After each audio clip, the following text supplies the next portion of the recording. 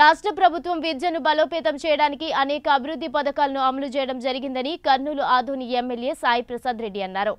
అందులో భాగంగానే స్థానిక మున్సిపల్ కార్యాలయంలో మున్సిపల్ కమిషనర్ కన్యాకుమారి అధ్యక్షతన జగనన్న విద్యా వసతి దీవెన పథకాన్ని ఆయన ఘనంగా ప్రారంభించారు. ఈ సందర్భంగా విద్యార్థులకు జగనన్న దీవెన అర్హత పత్రాలను అందజేశారు.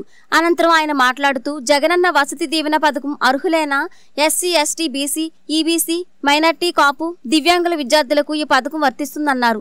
జగనన్న ప్రభుత్వం విద్యార్థుల సమస్యలను గుర్తించి విద్యాభివృద్ధికి కావలసిన వసతులను కలుగజేస్తూ ఆర్థికంగా ఆదుకుంటుందని ఆయన గుర్తు చేశారు.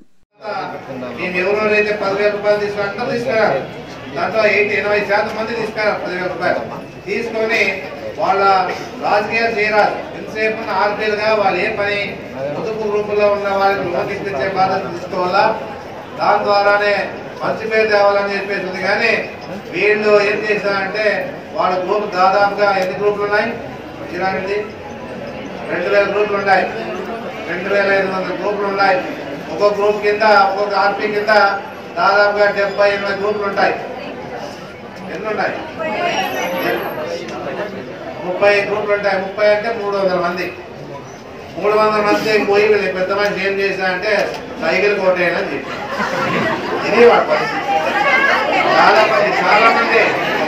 ఎవరైతే అది గుండెకేతంలోనే ఉన్నారో అది ఏం అవసరంటే ఈరోజు చేసిన అంతా కూడా. పాలపాసం చేస్తున్నారు నేను ఓటు వేయాలని చెప్పేసి. ఈ విధంగా చేసిన ఆడపిల్లంతా గుర్తించాం మేము కూడా. ఎందుకంటే జగన్మోహన్ రెడ్డి గారు ఎలక్షన్లో చెప్పినాడు. పాదయాత్రలు చెప్పినాడు. ఆర్పీలకంతా కూడా పదివేల రూపాయలు ఇస్తాను నేను గెలిచిన తర్వాత అని చెప్పేసి. అది కూడా హామీ ఇచ్చినాడు. అది కూడా అయిపోతా ఉంది. అంటే ఈ పదివేలు కంటిన్యూగా తీసుకునే పదివేలు అవసరం లేదు వాళ్ళకి. ఆడ చంద్రబాబు నాయుడు ద్వారా మీనాశాడు ఇచ్చిన పదివేలే కావాలా? ఆ ఐదేళ్ళు తింటామని